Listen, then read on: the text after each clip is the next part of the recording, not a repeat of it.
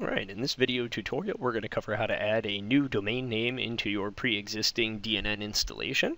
As you can see here that we're already on our DNN website, hostedappliance.net, and we want to add in a completely new domain name to this. So we're just going to, you have to make sure that you're logged in as the host user, which we're already logged in, and you should have your menu visible across the top when you're logged in as the host user.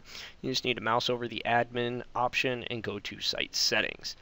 Now, the uh, site aliases are unique to each of your portals or sites within your DNN installation. So if you have multiple domain names that you'll be adding to different portals or sites that you have built inside of DNN, you will need to browse to each portal and then go into the site settings for that portal and adjust your aliases per portal.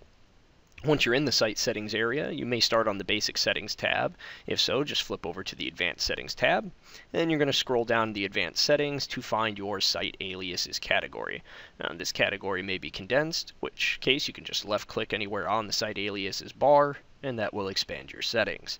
Here you can see we have our site alias table, where you can see our default URL has already been here from when we set up the site previously. We have both variations, the www.hostedappliance.net and hostedappliance.net. You can see that the primary checkbox is set for www.hostedappliance.net because this is our primary URL that we want traffic to be directed through and indexed. So we're going to add a new domain name into this installation here. And we're going to click Add New Alias. And in just a second here, it's going to pop up a box. Here we go. And here's where you can type in your new domain name, and there is an option if you want to make it the primary domain name. Uh, we do not want to make it primary, we're just adding a new one that's going to work with this installation. And that is www.hostedappliance.com.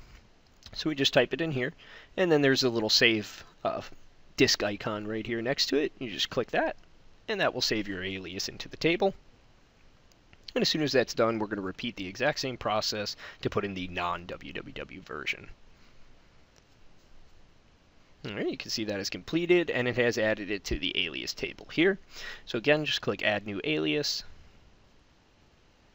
And in the box, we're going to put in hosted appliance.com without the www extension so that we have both variations of both of our domain names in the table, and click Save. That will update in just a moment, and we'll have all four of our domain names listed in the site alias table. This tells DotNetNuke that all four of these domain names are associated with this site within DNN, so it'll know how to handle them and direct them within this site. The final option that you may want to adjust here is the site alias mapping mode. The options you have here are canonical, redirect, and none. What this means is how search engines and other connections to your website are going to view the priority of the URL that people are currently browsing to. You'll notice that we have the hostedappliance.net checked as the primary. So if you set your mapping mode to redirect, what this means is that any of these URLs can be typed into the web browser and it will load this website. However, DNN is set into redirect mode, it will automatically redirect people to the URL that is set as the primary.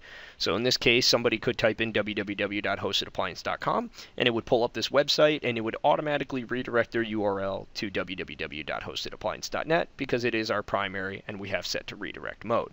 If you would like them to actually be able to browse under any of these domain names without being forcibly redirected to the primary, then you would use the canonical setting.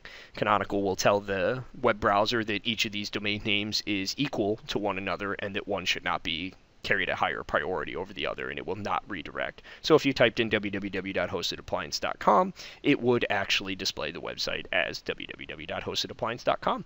Or if they typed www.hostedappliance.net, it would display as www.hostedappliance.net.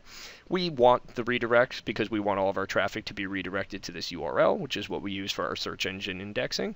And this is really all you need to do. At this point, DNN will now recognize both the hostedappliance.com and the hostedappliance.net aliases, and it will redirect all traffic to this particular URL. That's all you have to do. You can scroll down to the bottom and hit update. And that's all there is to it. DNN will now recognize all of these domain names, and we can test it out real quick.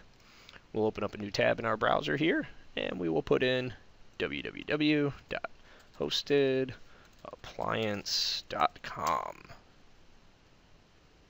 And as you can see, it has pulled up our website just fine. And you'll notice here that it has redirected us to the www.hostedappliance.net as per our site alias settings here. So that's all there is to it. That's how you add an additional domain name into your installation. We appreciate you guys checking out the video. We hope to see you for the next one.